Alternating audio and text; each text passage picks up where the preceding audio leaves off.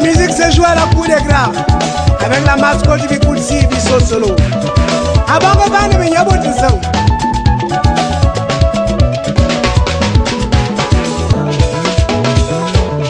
Jam fugitif, Azirik.